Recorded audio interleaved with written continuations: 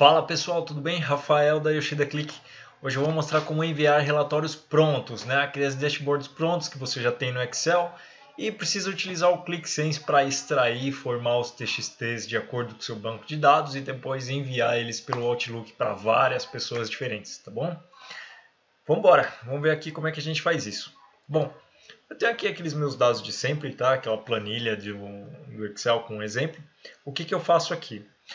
Uh, eu estou pedindo por cada agrupamento, né, que é como se fosse um, um agrupamento de... Bom, são líderes que precisam receber esse tipo de informação. Tá? Então, por cada informação de, de agrupamento, né, o meu for each aqui, eu tenho, eu tenho esse comando aqui. Coloco no concatenate, eu gero um CSV com todos esses campos aqui. Você não precisa fazer isso, tá? Pode gerar os campos só que são necessários para a formulação do seu relatório no Excel. Porém, bom, eu gero uh, um, uma tabela temporária filtrando somente o agrupamento que é, que é responsável por esses dados. No caso que eu tenho ouro, platina, diamante, né? que são aqueles que eu sempre uso. Tudo bem? Em vídeos anteriores aqui no, no YouTube. Bom, então por cada informação de agrupamento eu filtro tá? essa tabela que eu carreguei, que é a tabela dados, e trago todos os campos. Tudo bem? Eu dou um load aqui e trago todos os campos para essa tabela temp. Tá? E essa tabela temp, ela vai dar um store, né? ela vai salvar um arquivo CSV separado por ponto e vírgula nesta pasta aqui, que é de envio, né? uma pasta onde eu guardo informações. Feito isso, depois eu dropo essa tabela e ele passa para a próxima é, informação, que seria o próximo agrupamento. Né? Se ele gerou o diamante primeiro, aí depois ele passa para o ouro, depois ele passa e gera o arquivo do platino e assim por diante. Tá? Tanto que eu coloquei aqui ó, o nome da variável A, né, que é a variável que vai rolar aqui o field, para vocês verem que ele salva ela com um nome diferente. Se eu vir aqui na pasta de envio, ó, ele vai salvar esses TXT aqui, né, esses arquivos texto como .csv, tá bom? Para o Excel ler e consumir esses arquivos.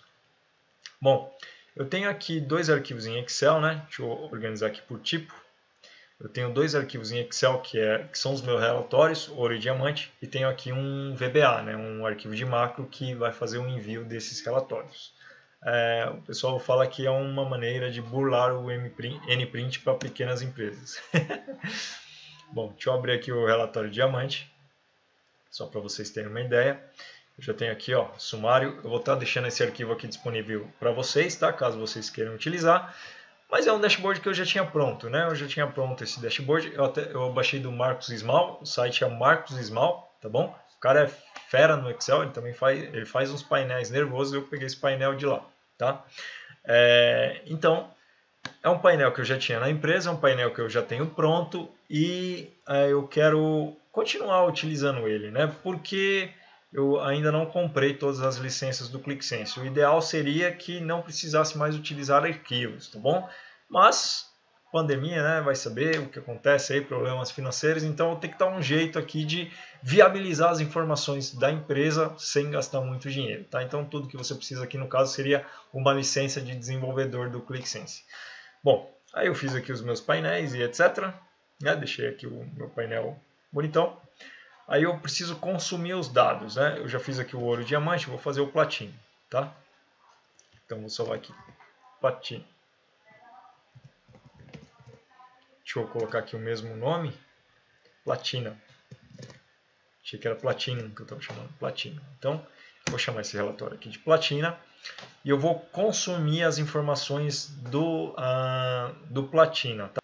Bom, aí nesses casos cada um tem o seu meio de consumir a informação, né? Eu vou só alterar aqui a minha fonte de dados para pegar a informação do platino. Vou vir aqui em consulta de conexões, onde está o diamante, vou dar um editar, vou substituir o TXT que está aqui pelo platina, então vou vir aqui em editor avançado, vou colocar aqui o platina, ok, ok, só vale fechar. Beleza. Aí eu já tenho aqui, vou ter aqui a soma do CSV de platina, né? Eu já tenho aqui a soma do CSV de platina. 2, 4, 4, 5, 67, uh, não, 763. Isso aí. Beleza. Já tenho aqui, ó, tá atualizado, tá salvo. É, feito isso, vou vir aqui para o meu arquivo de VBA, tá? Eu vou estar disponibilizando isso aqui para vocês também. É, o que, que ele tem de mais esse arquivo VBA? Ele tem duas guias. Uma guia onde você informa para quem você quer enviar o e-mail. Aí você coloca aqui um, um texto, né? Para quem você quer enviar o e-mail. O, o, texto é só, é só essa coluna C, tá bom? Isso aqui eu coloquei para mudar a variável se eu tivesse mais nomes de pessoas diferentes. Eu dei um concatenar aqui. E aqui o arquivo que você quer que seja anexo ao e-mail, tá bom? Aí tem uma macro aqui que é, está no módulo 1 e módulo 2, onde você envia o e-mail, tá bom? Se você entender de VBA, você pode editar ela, se não entender, deixe da forma que está, tá bom? E não altere o nome do arquivo, porque a chance de dar pau nisso aqui é muito grande, tá? Então, não faça alterações se você não entender de VBA. Deixa do jeito que está aqui, está funcional, tudo bem? É, bom, só para fins de demonstração, eu vou fechar o arquivo aqui, ó. A gente coloca o e-mail, a mensagem, o arquivo que quer anexar e aqui os arquivos que precisam ser atualizados, tá? Então tem aqui ó, o ouro diamante, eu vou colocar também o platina, que é o, o novo arquivo que eu criei aqui. Tudo bem? Platina. O caminho, você tem que colocar o caminho onde você está salvando os seus arquivos, tá bom? Platina, beleza. Salvar. É, lembram que o Platina estava com 2 milhões e alguma coisa, né? De, de valor. Então, vou ver aqui nas minhas planilhas, já fechei platina. Vou fechar essa planilha aqui de, VB, de VBA mandar e-mail. Beleza. Aqui no ClickSense, voltando para o ClickSense, eu vou pegar essa coluna valor e vou multiplicar ela por 20% do seu valor atual, tá? Só para vocês verem a modificação, a atualização das informações. Então, vou dar um vezes 0.20. E é, vou chamar ela de valor ainda, porque é a coluna valor que eu utilizo. Beleza. Fiz aqui meu tratamento, né, meu ETL de dados, fiz aqui minha, meu trabalho de dados. E agora o que eu quero fazer é, eu quero pegar essas informações e jogá-las no CSV e depois eu coloquei aqui um comando execute, tá vendo? Eu comentei aqui, ó, mas é, é um comando de execução que vai fazer o quê? Ele vai abrir o CMD, né, que é o o executável do Windows, tá bom? Esse barra C para informar que é um comando que eu vou passar. Eu vou passar esse comando aqui, ó. Aqui você altera para o caminho onde você vai salvar esse VBA manda e-mail, tá bom? Aí você altera ele, o que, que ele vai fazer? Ele vai abrir esse arquivo VBA manda e-mail.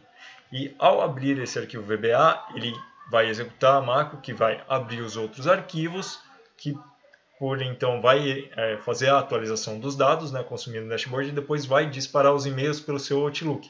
Então é importante que você tenha o Outlook configurado e aberto aí no seu servidor e que você tenha o Excel também, tá bom?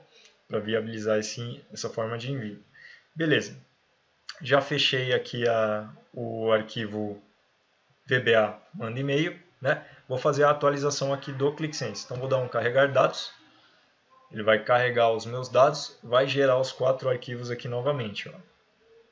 Esses arquivos de envio, tá vendo a data de atualização deles? Ele vai mudar, já está mudando já. Salvou os quatro arquivos, abriu o executável do Windows, tá? Ele vai passar o comando aqui para abrir a planilha de Excel.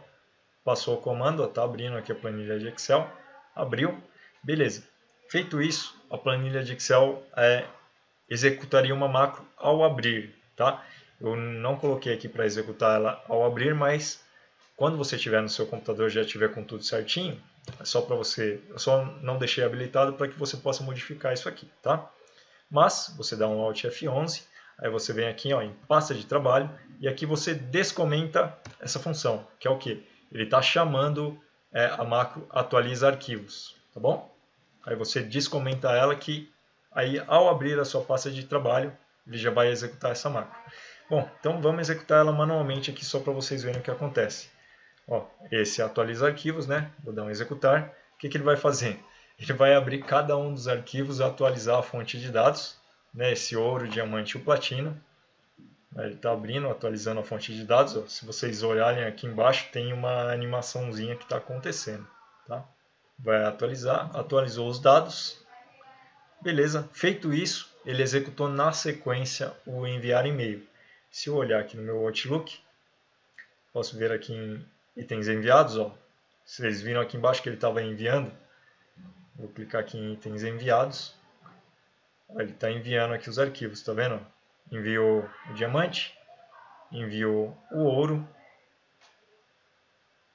e ele não enviou platina porque eu não coloquei para ele enviar o platina. Então ele não enviou platina, só o ouro e o diamante. Tá? O platina, por que, que ele não enviou? Que aqui ó, na lista de disparo eu não coloquei para quem ele deve enviar, nem o arquivo que devia ser o platina, né, o anexo. Seria aqui, ó, platina. Beleza, vou salvar ele aqui. E agora a gente vai abrir um desses arquivos né, que chegou aqui no e-mail, só para vocês darem uma olhada. Ouro, está abrindo aqui o ouro.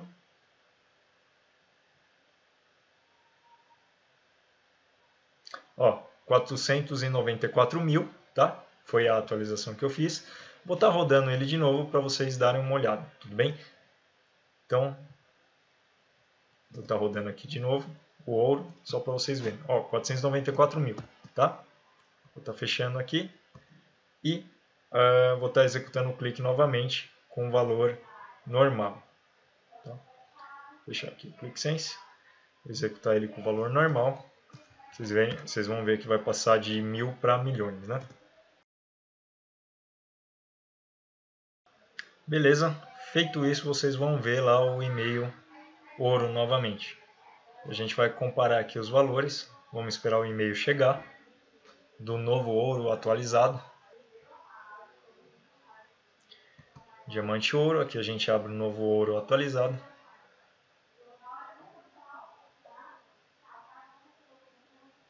E 2 milhões 471 mil, tá?